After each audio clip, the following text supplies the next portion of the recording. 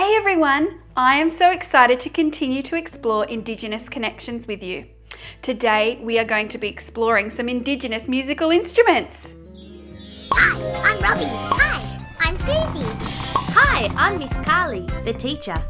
It's time for Home time. with Robbie and Susie. I have hands, I have hands. watch me clap. Watch me clap. Oh, what a miracle am I. I have feet, I have feet. watch me stand.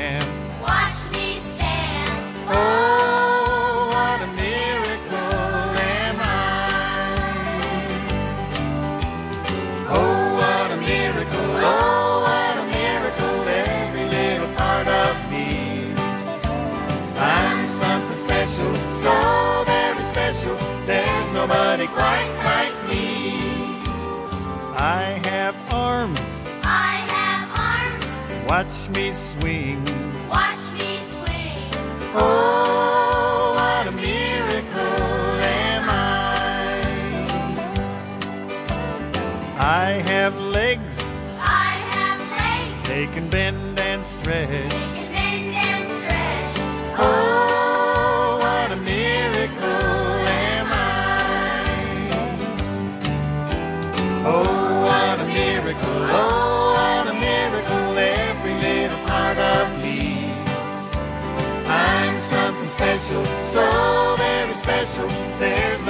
Quite like me. I have a spine, I have a spine. it can twist and bend. It can twist and bend. Oh, what a oh, miracle am I. I have a one foot, I have a one foot. watch me balance.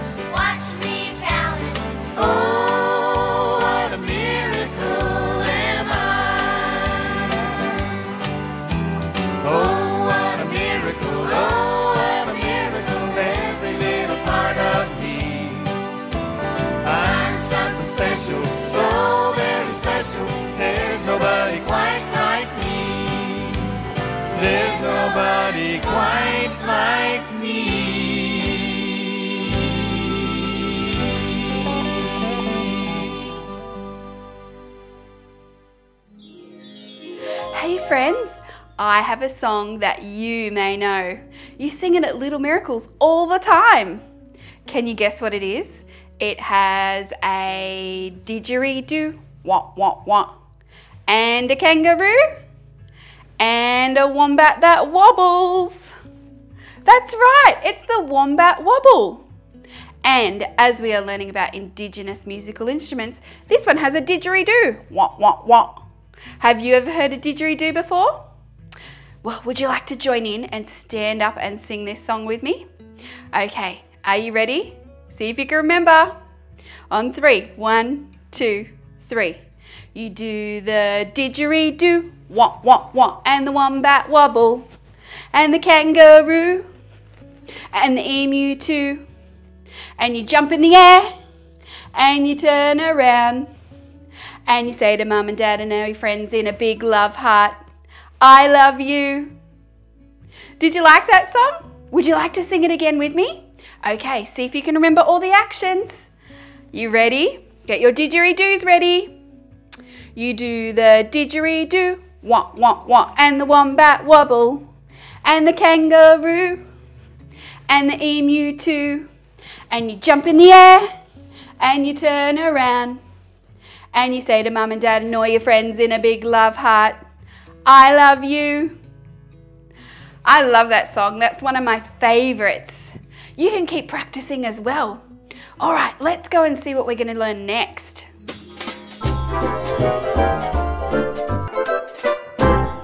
Hey everyone, really excited to be here with you today learning all about Indigenous musical instruments. Today we have a story to read with you called Ernie Dances to the Didgeridoo. And if you take a look at the front cover, you can see little Ernie in the middle and he's having a dance while his friend plays this very long instrument here called the didgeridoo. Let's have a look.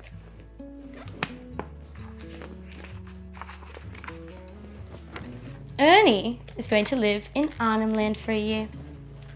Ernie waves goodbye to Rosie, Frank, Tessa, Nikki, Clive, and Celeste, and promises to write them a letter for each of the six Arnhem Land seasons. He flies above the desert for hours and lands in Darwin. It's hot. He travels over the floodplains and crosses the East Alligator River and arrives at his new home. Dear Clive, it's Kudjewk now, the monsoon season. It rains every day, but I am having a good time.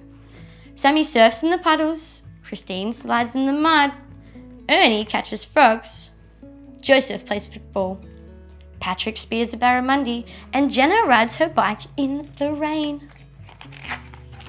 But Christine and her baby brother watch a goanna floating on the floodwaters. He's found a little stick to perch himself on there. Dear Frank, it's Bangkerreng, harvest time.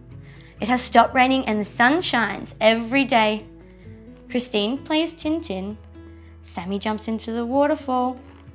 Ernie sneaks up on the buffalo. Patrick collects goose eggs. Joseph does backflips off the coconut tree. And Tammy gets chased by a crocodile. That's a bit crazy. But Jenna goes for a walk and her grandfather's pig does too. Dear Nikki, it's Yekke now. Cool weather time. The water lilies are flowering and they smell beautiful. Patrick gets painted with the crocodile dreaming. Joseph and his uncle collect bark for painting. Christine digs for yams. Ernie learns to make a spear. Jenna dances at the disco and Tammy goes for a sugar bag. She looks like she's doing some harvesting. But Sammy is frightened by the Mimi stilt dancers. Does look a bit scary, doesn't it?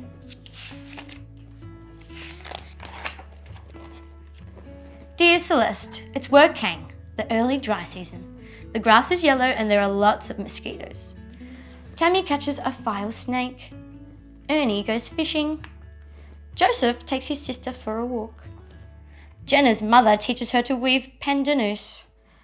Sammy plays the tin trucks. And Christine learns the yam dance. But Patrick's grandfather tells him about the creation mother. See some beautiful cave paintings there.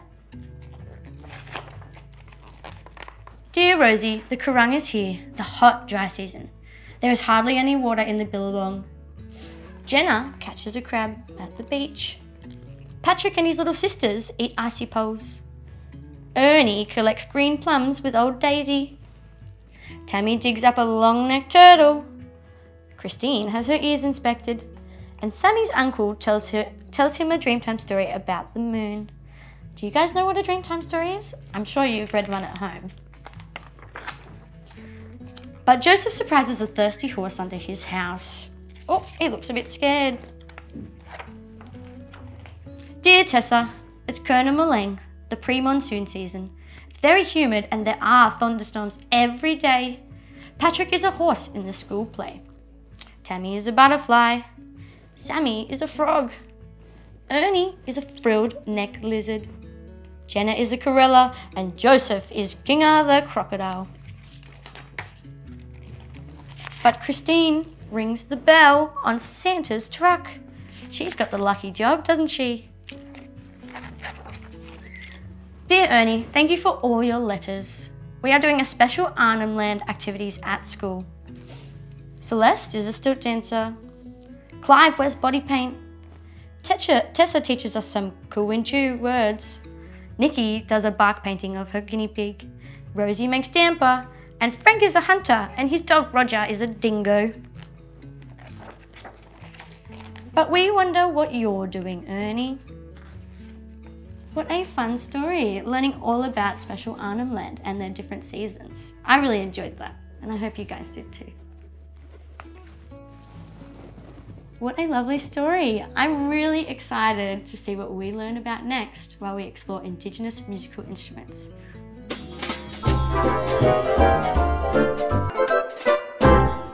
Another musical instrument that is very well known now that is used all over Australia now by the Indigenous people. It originally comes from the top end of Australia, and one of the words they use is Yidaki, Yidaki, and um, there's another word which is a language that I, not from my language but another language from up top. The word didgeridoo is not the real Aboriginal word. It was a given word by the European people, non-Aboriginal people. And if I like play a little tune and then you can pick up, and this is what the people heard when they first heard the sound of the didgeridoo and they gave it that name. It sounds like, and I'll play it.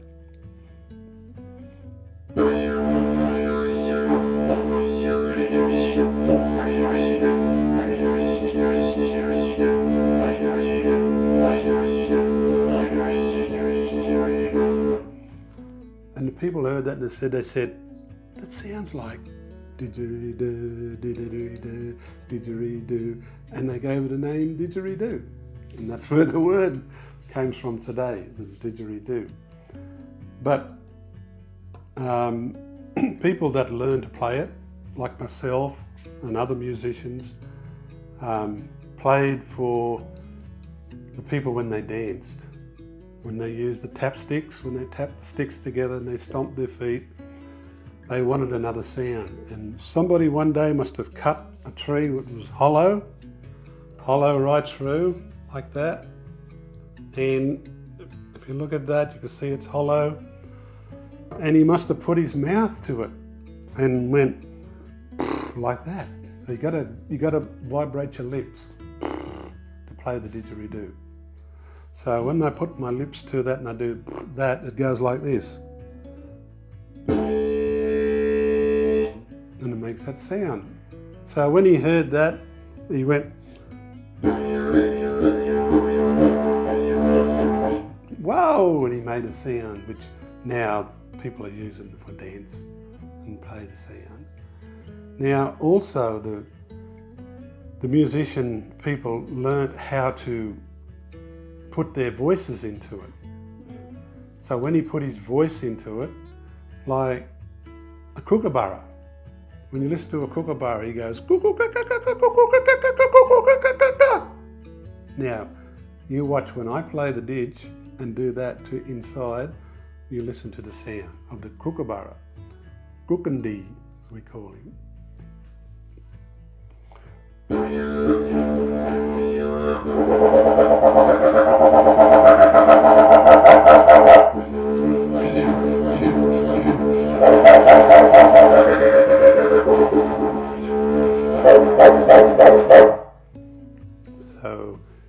Make the sound of the kookaburra through that. Another bird, it's a night bird. It's got big eyes. We call it the owl. Now, the mopoke owl, when you hear it at night going, mopoke, mopoke, he's hunting, he's looking for mice and insects that are crawling around. So when you hear that mopoke, that's a mopoke owl. So you listen when I play the didgeridoo and do that sound.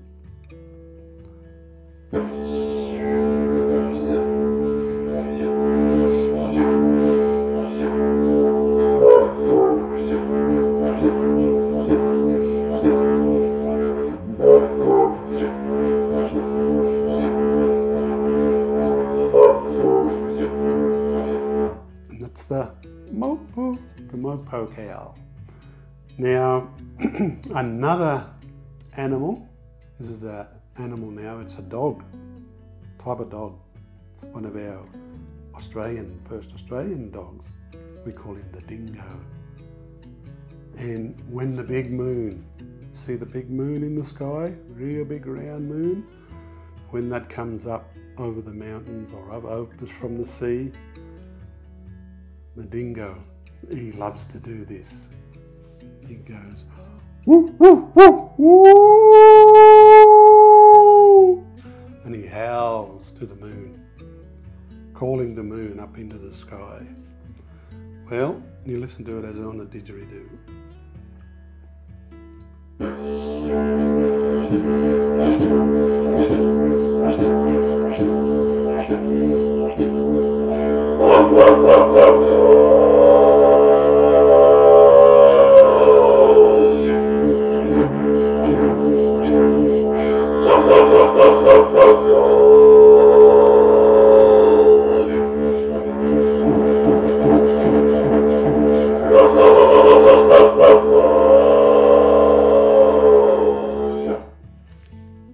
That's a dingo howling in the moon, calling the moon. And when the dingoes howl, it frightens the kangaroos, frightened and they start hopping. And you listen, I'll make the hopping sound of the kangaroo.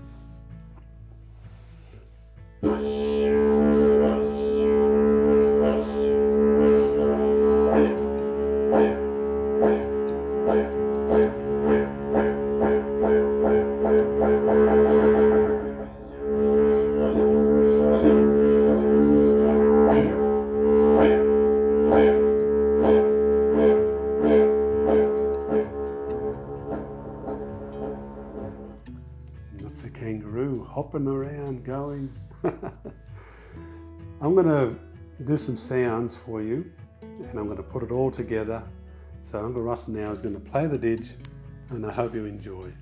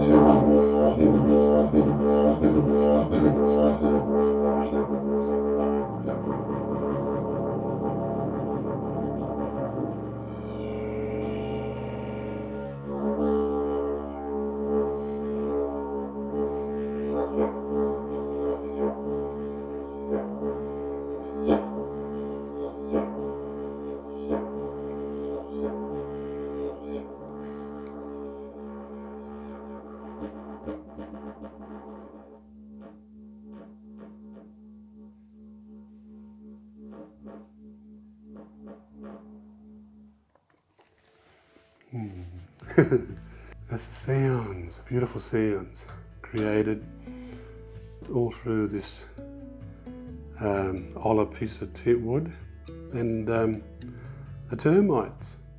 You know that little book about Tommy the termite? Well, he done that. The termite, they eat the bottom. They eat through the middle of the wood and make the timber hollow. And uh, the Aboriginal people now use it as a, a wonderful musical instrument.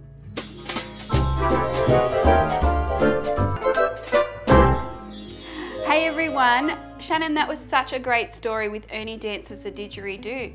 I loved how he explored and experienced all those amazing things up in Arnhem Land. You did, didn't you? All the different seasons. It was a good story. It was a Yeah. great story. That's good. Well, I thought because Ernie dances to the didgeridoo and we've been learning about musical instruments today, I thought we could make our very own tapping sticks and rain sticks, which are Indigenous musical instruments. I'd love to. Okay, so I'm going to be creating some tapping sticks. So if you didn't know what tapping sticks are, these are some here. These are from Uncle Russ's art gallery and they're made from very hard wood and you can see they're beautifully decorated and they make a sound. A nice beat. It is. and Aborigines use these to help keep rhythm in their songs when they're singing or when they're chanting. And I have some blank tapping sticks here that I'm going to do some beautiful artwork on with some cotton tips and some black, orange and yellow paint. But I thought, I can see here you've got some gum nuts and you've got a tube here. Are you going to be making a rain stick? You guessed right, I sure am. I'm going to be creating a rain stick and adding some um, indigenous print on there. And um, yeah, the Aboriginals use the rain sticks to try and encourage rain in dry areas. So we'll be creating our own today. Oh, that's exciting because it must be so dry out there. Very dry. Out from Gundabooka where my family lives is very dry dirt. So Oh. maybe this can bring on some rain. Oh, that's exciting. Okay, well, um, how are you going to get started on your rain stick? um, I think I might start off with closing the end. So Okay. I can pour my gum nuts in. Oh, and you're using gum nuts too, so you're using natural items. Yes. So you can do this at home as well. You can, this is just a tube, looks like a tube, and just some gum nuts. Yeah, we found these outside oh, in you the found, garden. oh, Yeah. nice. So you can maybe find some gum nuts in your garden too and create your very own rain stick. Okay, so you've got some plastic as well. I'm just going to cover up the holes so the gum nuts don't fall out. Okay, well, I'm going to get started on my tapping sticks. So I have some cotton tips, and as you can see here, there is beautiful artwork that is all in dots. It looks like it's a circle as well. I think I'm going to try and create some rings all the way around my tapping sticks. So I'm probably going to try some yellow. So dip, dip, dip. Just like that. You don't need too much. And then I'm going to put some like that and dots around my tapping stick just like that. So I'll go round and round and round. Some beautiful warm colours you're using there. yeah and some beautiful natural colors too. So yellow and orange and black can all be found. And the indigenous people traditional landowners when they did their artwork they used things like crushed up rock and clay and all the natural items that they find outside on the land that they live on It's orange like the orange dirt. That's right. So I've created one ring all the way around and I might get another one to do a different colour. Might try some orange. It's nice and bright. I'm going to make mine nice and sturdy. Put some string around the top.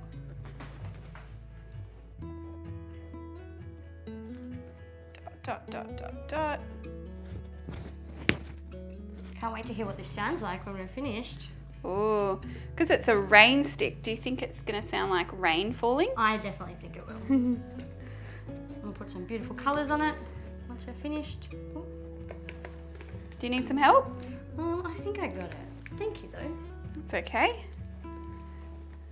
There we go. Dot, dot, dot, dot, dot.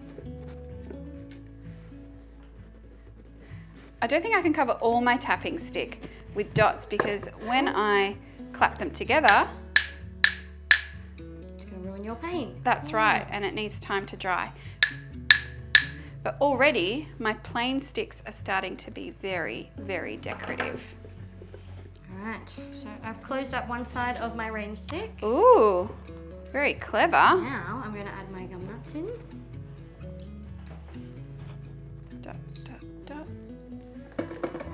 Hope you can hear them already. Oh, I like the sound already.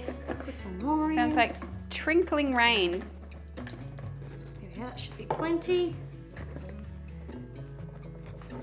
I'm going to close up the other end again. Some tape on there. Tape on the other side. I love that you're using recycled items as well. Yeah, some old paper towel I, believe so. Some old plastic to close up our rain stick. I'm gonna try some black. I wonder how that's gonna look on the dark wood. Oh, you can see it. Look at that.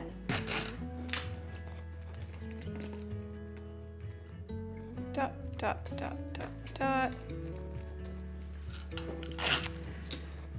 Colourful that is. Looking beautiful. Wow. All right, I'm gonna try doing the other one now. I'm gonna need to rest this one up here because it's still wet. Very Well gentle. Whoop, almost rolled away. I might actually lay it this way. Good idea. That's perfect. Lean it up through here. Almost There we go. Closing up the other end of my rain stick. Wow, it's looking so good. We're getting there. Mm. I can't wait to hear what it sounds like. I know. might try a different pattern this way. I might go up this time instead of around. So you can create, you can use dots or you can put stripes. You can create a tapping stick in any way that you'd like so that you can be creative. Can create your own music with them. You can. I remember dancing to tapping sticks and I loved hearing the beat and rhythm of the tapping stick and it really helped me to move my body in a way that follows that beat and rhythm. It's very loud and clear when they tap, isn't it? It is, it is. All right, now that I've got my rain stick all sealed up, I think I might get to decorating. I'm these, do some dots as well. Have you um have you heard people from your tribe playing any instruments? Some of them, yes. Um, we really love the guitar, to be honest. Oh, wow. But sometimes when we sit around the campfire, tell our stories, we'll play um, our clapping sticks together. So we all have our own pair. Usually when we go there, yeah. Yeah? Go to Gundabooka. I'm out in the outback. That's awesome. How long does it take to get there from here? I think it's about a five-hour drive, maybe. Oh wow. Big drive, very big drive. And it's very different to here. Yes. We're near the beach. Yes, yes. There's no water out there, just all red dirt.